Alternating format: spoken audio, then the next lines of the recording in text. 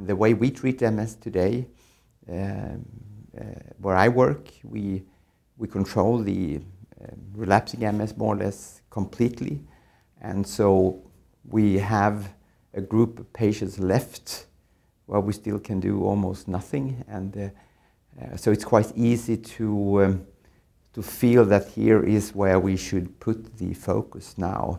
We have, I would say, more or less solved the question with, with uh, relapsing remitting MS. If we treat them right, we'll keep them healthy. But the, the one who are unfortunate to have progressive MS, uh, we have so little to do. So it, it's very natural to, to switch the focus uh, to this group because that's where the need is.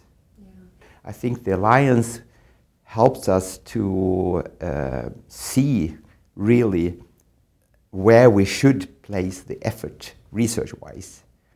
And uh, that's very important. And, and we, it also helps to acknowledge that this is very, very different from, from the early stages of MS because, uh, to my point of view, it's, there are mechanisms there that are entirely different and we need to, to solve that problem. I think a key issue is to go back to the, the center of the, um, uh, of the, uh, the action, which means the the specific patients. I think the um, risk today is, um, I'm not going to argue against big data discussion and so on, but I have a concern about that we uh, lump together um, patients with progressive MS in as one group. And I would focus on doing a much more specific description of um, on the more or less the individual levels. There are definitely subgroups where we can learn more from where we can learn more than from other, and at least they, they learn us different things.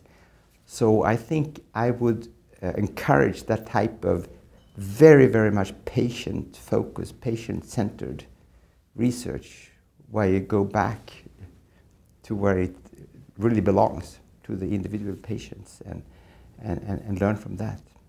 I want them to know, of course, that we are not neglecting this problem.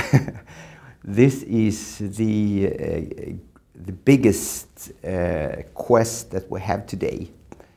Uh, we, and that we are really uh, spending a lot of time to try to understand this. Unfortunately, they have to know that this is difficult. Uh, and I have, well, I hope that they will be patient and have the faith that, that we really will not give up in trying to, to solve this question.